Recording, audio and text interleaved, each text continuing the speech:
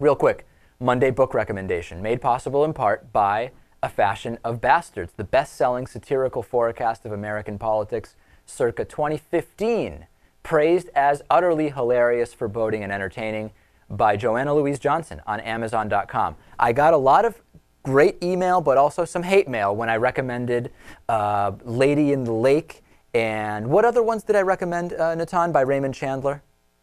Um, sorry, uh, The Long Goodbye. The Long Goodbye. I recommended a number of Raymond Chandler books, and I got some emails saying, you can't say he really started the genre. You have to give credit to Dashiell Hammett. So that's what I'm doing here. This is one of my favorites. If you haven't read this, you've got to take a look at The Maltese Falcon by Dashiell Hammett. Certainly in the vein of Raymond Chandler, a little bit different in terms of the style. Fantastic book. You will enjoy it. Doesn't matter if you're more into fantasy or fiction or romance novels, as Louis is, or sci fi, or whatever the case may be.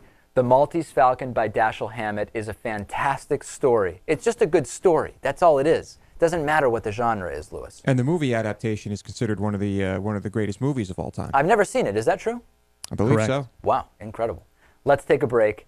On the bonus show today, great stories hosted by Louis Motamedi. Go to davidpakman.com slash membership and support the show. Plenty more. Stay tuned.